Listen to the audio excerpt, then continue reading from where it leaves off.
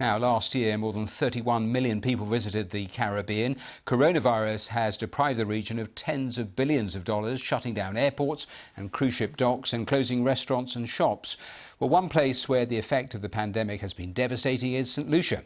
Two thirds of the economy is reliant on tourism. Let's speak to the Prime Minister of St Lucia, Allen Chastanet, who joins us live from the capital. And Prime Minister, welcome here to the programme. As I mentioned there, 65% of your economy is reliant on tourism. Tell me, first of all, the impact coronavirus has had. Um, well, it's been devastating economically. Um, our tax revenue is down anywhere between 50 and 60 percent. Um, unemployment, uh, which we had being reduced from 25% to 16% now is right back up again because clearly with the hotel sector being closed. Um, and that was certainly in April and May, but we've now seen a, a slight recovery in some of those numbers moving forward. Visitor numbers are massively down, 89% from last year. What do you need to do to restore your biggest driver of your economy, do you think? Well, look, we took a decision very early um, that we realized that we had to learn to coexist with COVID. So the idea of staying in a permanent state of lockdown was not an option that was available to us. Um, and in doing so, we developed some pretty uh, interesting protocols that have worked. And that's the benefit that we have of a small island state. We've seen an immediate success. So we've actually had our doors open since June 4th. We've had 6,000 arrivals since then. Um, one third of our hotels have reopened. And since we have been doing that, the critical component to it has been pre-testing. So we did develop a protocol for the Caribbean. Some of our neighboring islands decided to test on arrival. St. Lucia chose to stick to our initial uh, instinct, which was to test before people came. And since then, none of the tourists that have arrived um, have uh, uh, exposed any of our locals to uh, any COVID. And what we have also done is insisted our nationals returning home remain in an administered quarantining, and that certainly has made a big difference in our numbers. I'll come back to that point in, in a moment, but uh, we talked about tourism. When you look also in your economy and your exports, things like the banana industry, mangoes, uh, we've seen a big impact there as well. At, at what stage do you have to look at the whole way that you run the economy and perhaps, perhaps rethink going forward? Um, we don't think we've reached that point yet. Um, we, we, we have seen in, in, in crises of the past, when we had 9-11, we had the financial crisis. And I believe the same is going to be true here. Um, the Caribbean, in absolute terms, um, the amount of tourists that we get is a small portion of global tourism.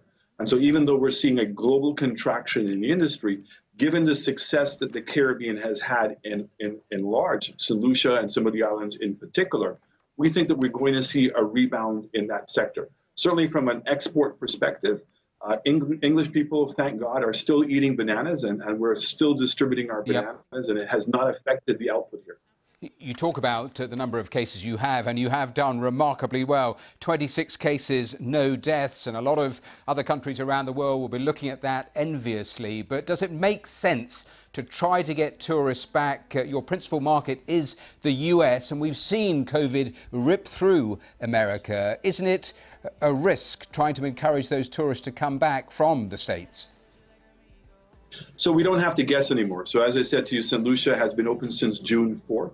Um, we started receiving American uh, passengers or visitors um, from July. We've had over 6,000 arrivals. Um, they have coexisted with our British tourists as well, and it has posed no threat to the country. And so with the protocol of pre-testing before they get on the plane, I mean, it only makes sense. I was in the airline industry, can't be flying planes two-thirds um, full because the, the economics of that just doesn't make sense causing persons to be pre-tested a certain number a period before getting on the plane, I think brings confidence back to the tourists themselves, as well as protecting the state. And I, I also heard the idea of people being pre-tested before they go back in order to not have to do the quarantine. I want to say that St. Lucia supports that policy strongly. We've shown that we have we've implemented that successfully in this country. We think it's it's just crazy that the airline industry has not adopted pre-testing um, as a prerequisite before getting on a plane. Let me turn to travel restrictions that you touch upon because uh, it is such a patchwork. Uh, each country introducing different restrictions. Uh, would it help if it was more joined up in terms of an international approach to, to travel and the various restrictions that are in place? Absolutely. Look, you, you said the number. There's 30 million people traveling to the Caribbean on an annual basis, and that's just the Caribbean. Um, I think if, if we're to see a return globally to, to travel, um, that we need to do what happened after 9-11. Imagine after 9-11 if in fact we did not have the security protocols in place. I don't think it would have recovered as quickly. And I think the same thing applies here. Economically, for both sides of the pond, both in the UK as well as in the Caribbean, there's a significant benefit if we can now bring people's confidence back to traveling. And that's certainly going to stimulate. You know, sadly, I've had many discussions with many of the political leaders and policymakers in the UK.